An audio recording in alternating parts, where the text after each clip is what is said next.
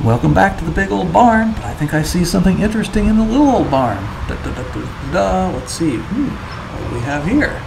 I wouldn't have thought this was possible a few weeks ago, but we passed 100 and we're, we're on our way to 1,000 subscribers. So if we get there, we're going to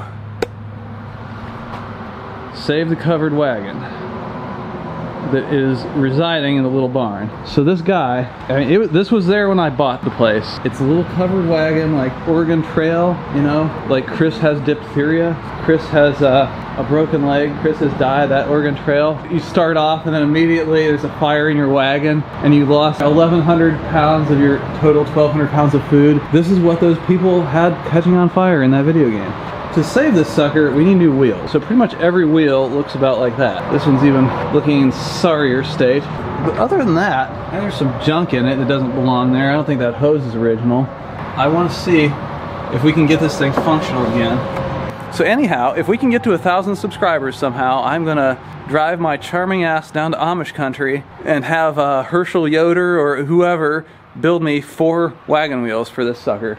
I mean, as authentic as you can get, or I mean, maybe we'll stop at the flea markets on the way. I don't want to get one and have it break though. I want like a real quality thing that you can actually load up and hook a horse to if you got one. So thank you very much for everybody who got us to 500 subscribers so far. We're going to get this little wagon saved, and we're going to have more content coming on the actual barn renovation process. We've got the cupolas going on soon, we've got the siding in the works, we've got stuff happening on the site, a lot of stuff going on right now. So please stay tuned.